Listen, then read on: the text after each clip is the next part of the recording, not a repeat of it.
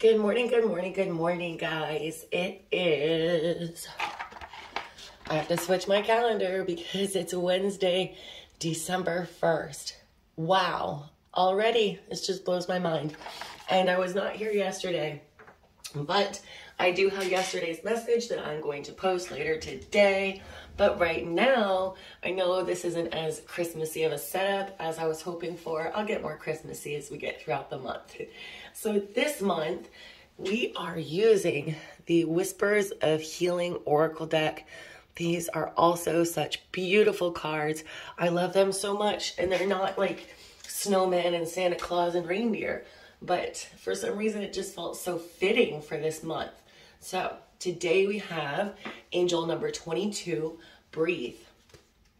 And um, I actually, a couple cards fell out, and I asked my pendulum to let me know which one was the one, and this was the one. So um, somebody out there really needs to hear this today. Let me know in the comments if that somebody is you. Okay, breathe. When negativity surrounds you, create a space where you can take a few minutes to reprieve, to regain rationality. Close your eyes and take a slow, deliberate breath. Visualize love and positive energy coming to you with each breath in. Imagine you are releasing fear every time you exhale. Take a moment now to practice breathing techniques. This can be helpful for you to feel replenished. Wow, I'm a little slow. With effort, try to make your breath a little bit longer and a little bit deeper. Longer, deeper breaths have a direct effect on your nervous system. It is human to take shallow breaths when you are in tense situations. Feel how much healing you can experience by being mindful of your breathing. Mermaids and mammals in the ocean must surface to take a breath. This card comes as a perfectly timed reminder for you to stop and breathe. When you learn to take long, slow, deep breaths, life takes on a new quality. You'll be more able to appreciate the beauty around you. The mermaid reaches for the surface of the ocean, just as you reach to break the surface of old patterns. You can transform an aspect of your life by slowing down and breathing deeply. As you read this message, or as you listen to this message, did you take a breath deep into your stomach and slowly release it? If not, do so now. Okay, so we are. We're going to take a breath together. And I'm 35 years old, and it wasn't until a year ago that I actually started meditating and doing breath work. And um, I hope to help teach others sooner in their lives how important um, breathing techniques really can be. Now, um, I spent a lot of my life with social and generalized anxiety and panic disorder and PTSD from um, certain aspects of my life, particularly um, when I almost died having my third daughter, my third daughter, my third child, my second daughter. So, um, I had PTSD when it came to doctors and hospitals, and I wouldn't let her leave my side. And um, yes, I spent a lot of my life struggling to go in public places, um, and I would just have full blown panic attacks. And I didn't understand how to breathe through it. Okay. And I know it sounds silly because if you would have told me in my 20s to just breathe, I would have laughed at you. Okay, it would have been like, you know, that is the most ridiculous thing I've ever heard of.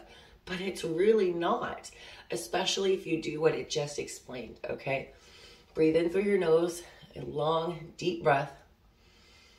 And we're going to envision, I like to envision breathing in pure white smoke. Okay, that's just what I personally do.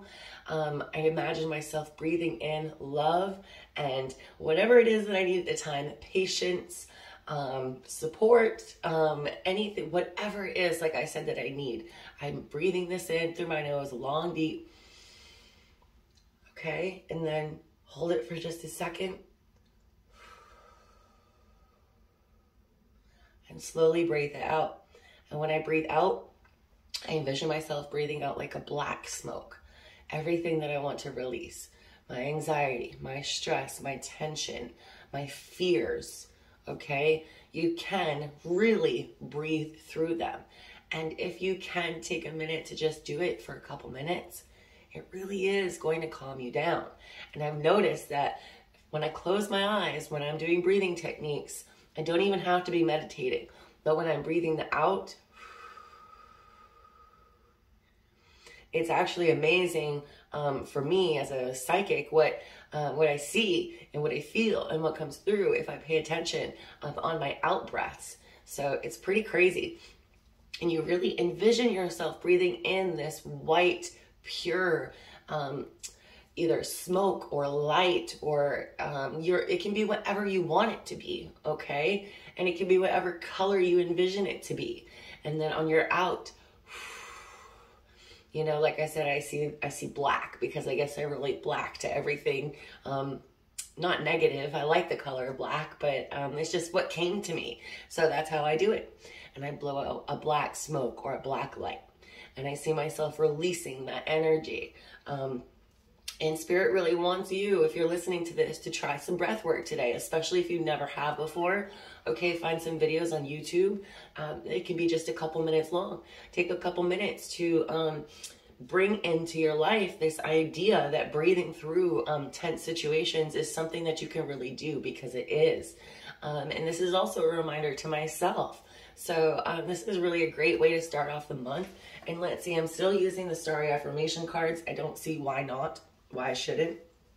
So today we have miracles happen when I give the universe my clear intentions. And I love this because this Saturday, I believe on December 4th, we have the new moon. And with the full moon that we just had, and then that lunar eclipse, that rare lunar eclipse, now we also have a new moon with a solar eclipse. And there was a lot of new beginnings that are going to be coming into your lives, okay? What a great time to practice breath work when we are closing certain chapters in our life and opening other chapters in our life, okay? Other volumes. It might be a whole brand new book, okay? And your guides are telling you that miracles do happen when you give the universe your clear intentions. And I love this right now because it's reminding all of us to start thinking of our intentions right now. What is it that we would like to accomplish over this next cycle? Um, what intentions do you have for your life? And remember that miracles do happen. Um, I've been trying to kind of explain to my husband because he sees me do it month after month after month. And I think he's starting to catch on to the fact that um, it's not that he doesn't believe in what I do, he does, but he doesn't see it on the magnitude of the scale where I see it, okay? Because um, I truly believe that if I have $20 left in my pocket, you know, that I am going to spend that knowing that money is coming. Um, he's still struggling to have that mindset. And it's kind of the same thing that um, when you can clear your muddled mind and and have clear intentions this is what i intend to do. This is what i intend to get. This is what i intend to have for my life for my family in my life. Okay? Miracles really do happen. Um, like for example i'm potty training two year old twins and last month one of my intentions was to have my twins potty trained um, like 10 days after that my my two year old son pooped on the potty for the first time. That was a miracle in my book, okay? so you've got to believe. Set these intentions, start writing them down right now, make a list, um, journal, okay? Or at least just start thinking in your mind. What is it that you would like to accomplish over the next 30 days? And remember, I don't mean to like, um, stress you out or anything, but this is the last month in 2021.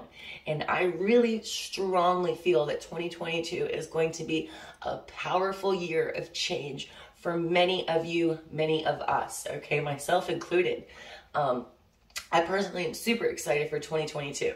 I feel like some crazy things are going to happen in my life and I'm trying to really prepare myself. So this last month of the year, I'm trying to really um, wrap up and reflect on how far I have come this month, uh, this year, excuse me. And um, I, I suggest to you to think of how far you've come this year. Okay, even if it doesn't seem like much, baby steps are huge. Um, so think about everything that you've accomplished over this year, everything that you've come through and overcame this year. Okay, and then start thinking about where you want your life to go. Um, this can be in career wise um, if you want to move, if you want a new job, where do you want your life to go? Start setting clear intentions, guys. We can wrap up 2021 with a bang. We really can. We've got this last cycle here to really, you know, push through this last little bit of this year and come out of this year right on top. You can. And I know that a lot of people right now are in like this unknown, stuck phase, kind of where I was a few months ago. And um, you got to believe in your heart that things are only going to get better from here, okay? Like that's a promise from my soul to yours. I promise you, things are going to get better. And um, with this solar eclipse Saturday on this new moon, this energy, this is powerful. This is very powerful for um, starting new things in your life. So start creating your intentions now. Be clear on your intentions to the universe, and miracles are going to come into your life. When do miracles come? When you believe that miracles do exist. So believe, all right? Okay, I hope you all have a super awesome day today. I'm going to now be putting out yesterday's message. so um, you guys get two messages today. I hope you listen to them both.